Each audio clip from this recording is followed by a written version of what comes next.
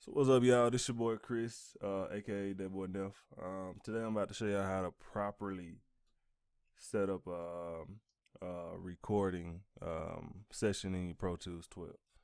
Most people they uh they just go in, they just get their tracks down. They don't know. Well, they just they just put the tracks in. They don't know that they need to put like a, or they need to have uh inputs, uh aux inputs, in uh in a master track. And half the people don't even know how to use the uh, the aux tracks. Anyway, just gonna focus on one thing. Um, as you see, I already got Pro Tools 12 pulled up. Go ahead and label this test. Mm. Label this test recording session. I'm also show you how to make a template too.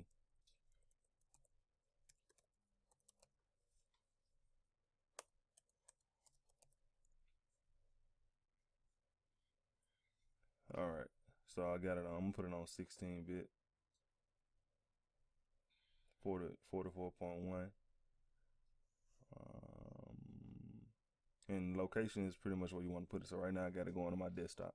Anyway, so let's go and create. You see, you got the um, got the edit screen pulled up. That's the mix screen.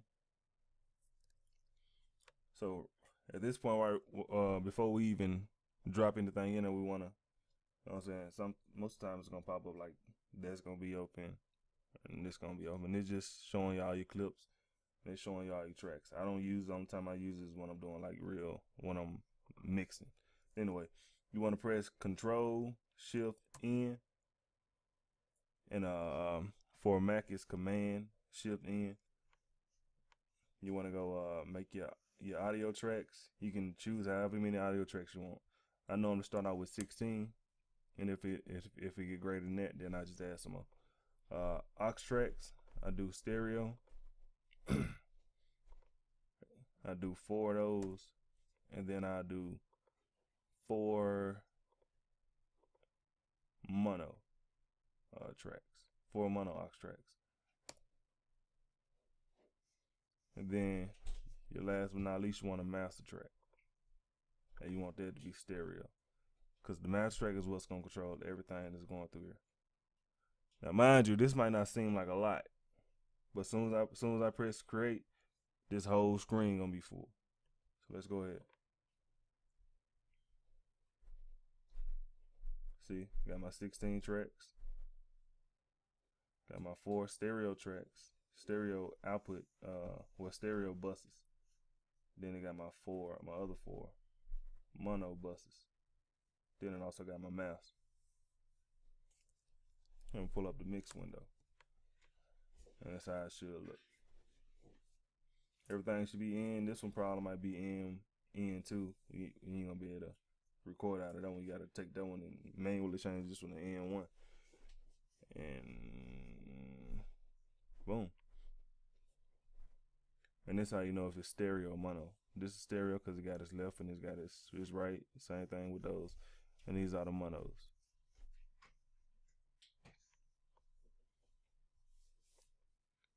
So that's how you properly set up um, a session ready for record. Um, all right, you guys. Uh, on this one, I'm gonna show you how to pretty much create a template after after we just created a, a, full recording session. You see, I got it uh, right here, or titled right here. And as you can see, I got one through sixteen channels, audio channels. Then I got one through four aux stereo uh tracks and I got five through eight mono stereo tracks and I got a master track. Uh, but pretty much pretty simple. All thing you do is go to file. Then you go to um, save as template. And then you you want to go to category, you can go to record mix, songwriter, whichever whichever category you want to. Or you can also create your own uh, category. How you can do that. Put a I'm gonna put C S B vocal recording.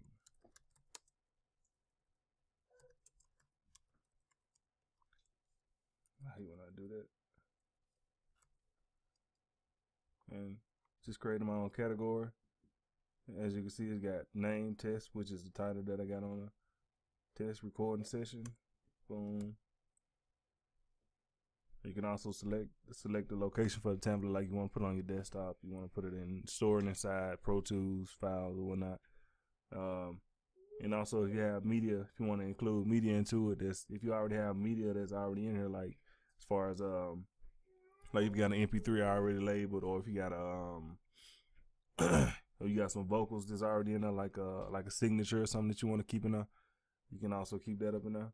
Um, with that, you just select all that and it'll stay on there. Then you just go to OK. And to confirm that you confirm that you got it saved, you just go to create new. You want to go to create from template. Go to your category. There go my category. The one I just created. Go to that one. Test recording. And it's just gonna pull it right on up again. So telling me I gotta so I'm gonna do number one